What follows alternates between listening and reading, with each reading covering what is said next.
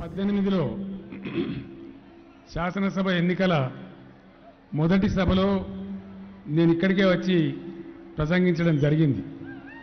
హుస్నాబాద్ గడ్డ ఆశీర్వాదంతో ఆనాడు త్రీ ఫోర్త్ అంటే ఎనభై ఎనిమిది సీట్లతోని అఖండమైన విజయాన్ని మనం సాధించినాం.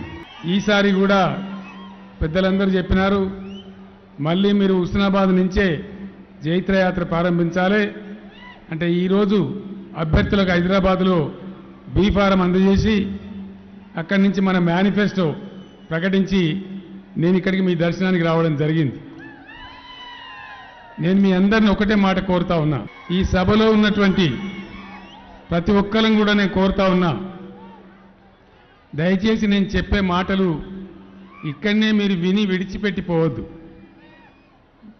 పట్టణంలో మీ బస్తీకో లేదా మీ గ్రామానికో మీ తండాకు పోయిన తర్వాత కేసీఆర్ నాలుగు మాటలు చెప్పిండు. ఇందులో నిజమేంది? అవు నిజమేంది అని ఆలోచించాలి. ఎన్నికలు చాలా వస్తాయి చాలా పోతాయి. ఎవరో గెలుస్తూ ఉంటారు. కానీ ఒక్క విషయం మీద ఎలక్షన్ రాగానే మనం ఆగమాగం కావద్దు. రౌతేందో రత్నమేందో ఆలోచించాలి. మనకు పనికొచ్చేదేదో గుర్తుపట్టాలి. ఎవరో చెప్పిండ్రని అలవోకగా ఓటు వేయవద్దు. ఓటు అనేది మన తలరాతను మారుస్తుంది. మన తాలూకా రాతను మారుస్తుంది. మన జిల్లా రాతను మారుస్తుంది. మన రాష్ట్రం యొక్క భవిష్యత్తును మారుస్తుంది. కాబట్టి చాలా ఇంపార్టెంట్ కాబట్టి ఇవాళ మా బావమరిది చెప్పిండో మా చుట్టం చెప్పిండో లేకపోతే మా మేనమావ చెప్పిండో అనే పద్ధతిలో ఓట్లు వేయకూడదు. అది బంద్ కావాలి.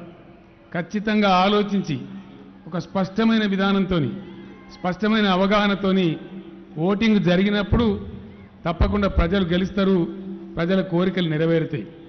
ఒకటే ఒక విషయం మీరు అందరూ ఆలోచన చేయాలి. తొమ్మిది సంవత్సరాల నర కింద మన తెలంగాణ పరిస్థితి ఏంది? ఏ విధంగా ఉండే? ఎక్కడ చూసినా భయమయ్యే పరిస్థితి. వలసలు కరువులు సాగునీళ్ళు లేవు మంచినీళ్ళు లేవు కరెంటు లేదు.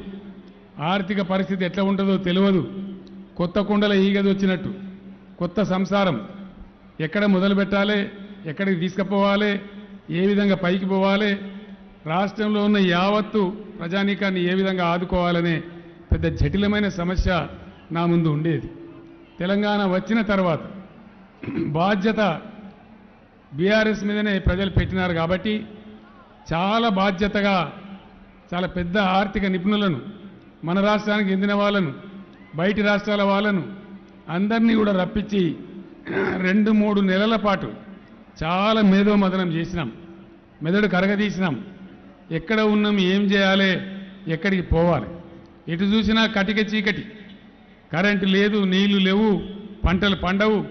బతకలేక వలసపోయిన వాళ్ళు కొందరు ఇక్కడే ఉండి సావలేక బతుకుతున్న వాళ్ళు కొందరు. చాలా ఘోరమైన దారుణమైన పరిస్థితులు ఉండేవి. మీ అందరికీ తెలుసు ఆ విషయం. మీరందరూ కూడా ఆ విషయాన్ని చూసినారు. పద్నాలుగు పదిహేను సంవత్సరాలు మనందరం కలిసి ఏకబిగిన పోరాడి తెలంగాణ తెచ్చుకున్నాం.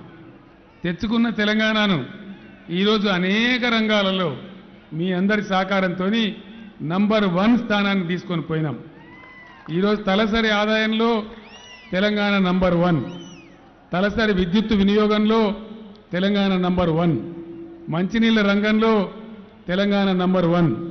పల్లెలలో చెట్లు పెంచి పచ్చదనం పెంచి పారిశుద్ధ్యాన్ని పెంచి చక్కటి పంచాయతీరాజ్ వ్యవస్థ ఏర్పాటు చేయడంలో తెలంగాణ నెంబర్ వన్. ఇట్లా అనేక రంగాలలో పారిశ్రామిక విధానంలో మనకెవరు పోటీ లేరు సాటి కూడా లేరు.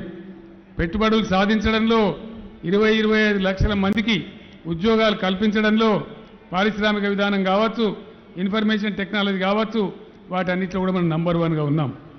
కేంద్ర సహకారం లేకపోయినా ఇక్కడ ప్రతిపక్షాలు గౌరవేలి లాంటి ప్రాజెక్టును అడ్డుకోవడానికి ఎన్నో కేసులు వేసినా ఎన్ని కుట్రలు చేసినా అన్నిటినీ కూడా అధిగమించుకుంటూ ఒకటి ఒకటి ఒకటి ఒకటి చేసుకుంటూ మనం వచ్చినాం. అద్భుతమైన విజయాలు కొన్ని సాధించినాం. ఆ క్రమం అట్లే కొనసాగాలి.